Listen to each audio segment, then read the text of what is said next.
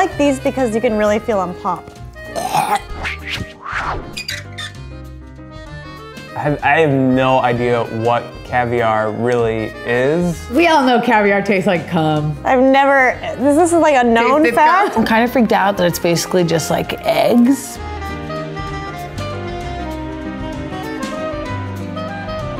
I like the way the balls pop in your mouth. I'm intrigued because I just didn't think there would be a cheap caviar. I thought it was all expensive. I think Yes. without a uh, doubt in my mind, I'm going to know the difference between cheap versus expensive caviar, having never eaten it before.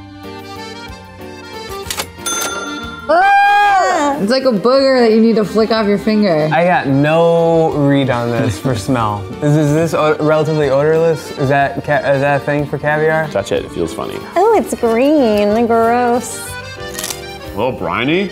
Ah Salty. This is pretty good. It's a little oceany. It tastes like the juice at the bottom of an oyster. It's like the best part. Pretty good. Mm-hmm. I like this. That's expensive because it tastes straight up like vagina. I'm leaning towards this being low end. Off the bat, I'll say it was probably a cheaper one. Whoa. Oh shit. I can already tell these are the cheaper ones because they're Yeah. big and bright. I feel like that looks nicer to me. This is what I imagine caviar looks like when you see it in like Pretty Woman. Look at these things. These are big boys. I feel like Nemo's coming out of one of these. Oh, don't say that. Try. it. Oh god.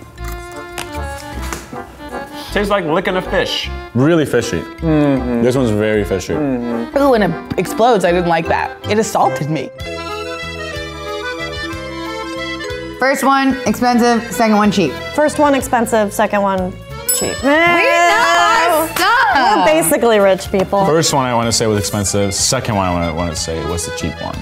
I agree with everything he just said. Yes. Yay. Look Nice. at that. Nice job. Oh, look at that. Yeah, I think the uh, little green guys were pricey, and what I think was salmon roe was probably cheaper. I think the first one was most expensive.